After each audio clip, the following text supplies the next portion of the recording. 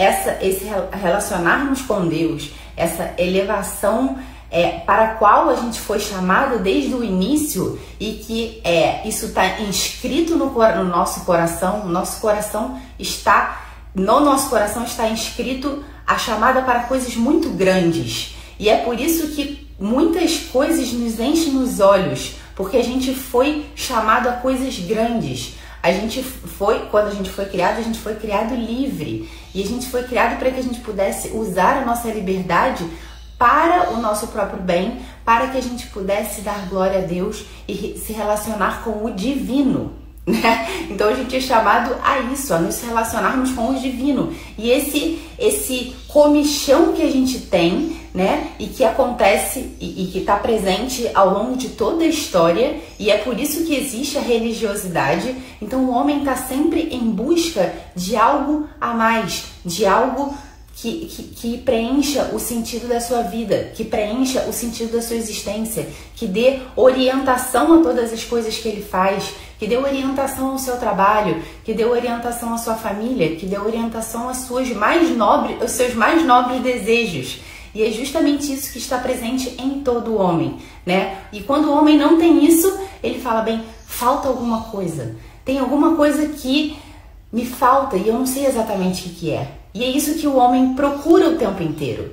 E é justamente disso que se vale uh, as tentações para que a gente possa cair nelas. Porque isso está dentro de nós e a gente está à procura disso o tempo inteiro. E a gente acaba procurando em coisas erradas é preencher esse esse esse vazio, preencher, preencher esse esse desejo que está no nosso coração que é o desejo de fato, no, no fim, a gente sabe, que é o desejo de, de nos relacionarmos com o divino, né? Que a gente recebeu esse dom da graça sobrenatural já no início. Então a gente no início estava totalmente preenchido com tudo isso, né? Não nos faltava nada, né?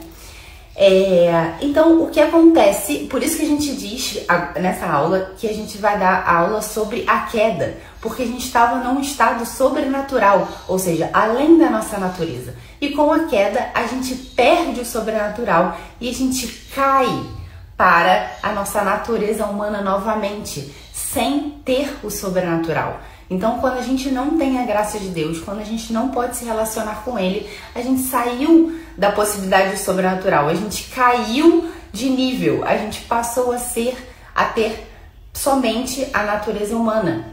E nos será devolvido esse sobrenatural quando a gente é batizado, quando a gente se confessa. Daí a gente vai conversar um pouco disso mais para frente, né?